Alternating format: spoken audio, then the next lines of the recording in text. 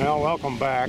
Seems to be uh, a lot of interest in how I mounted my panels on my uh, ground mount here. So, I'm going to make a quick video. As you can see,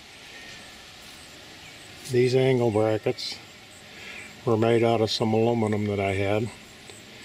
They use the original holes in the panels.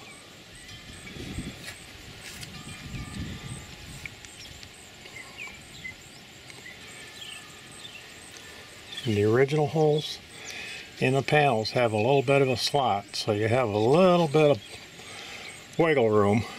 And when you build your framework, what I did is I laid these panels out flat, got all the measurements, put the brackets, temporarily put the brackets on each one of these, and then got my measurement from here to here, and the same on the bottom, and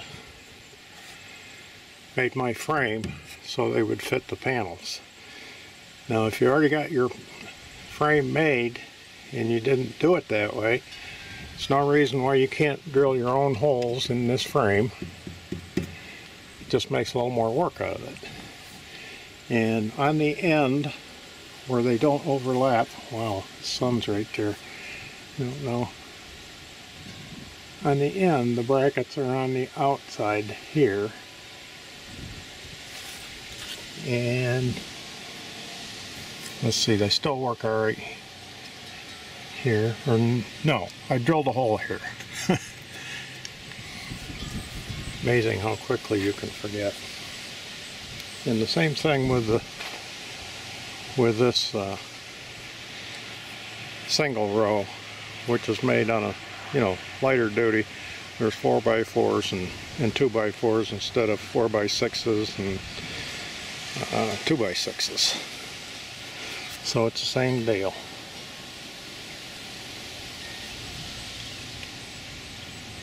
same brackets.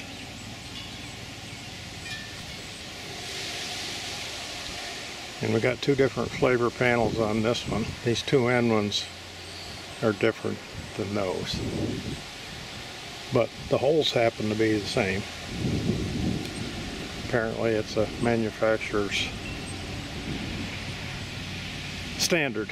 So hopefully this will help a few of you that had questions about how I mounted them. And uh, if not, you know, let me know and I'll see if I can clear it up. Thanks for watching. See you next time.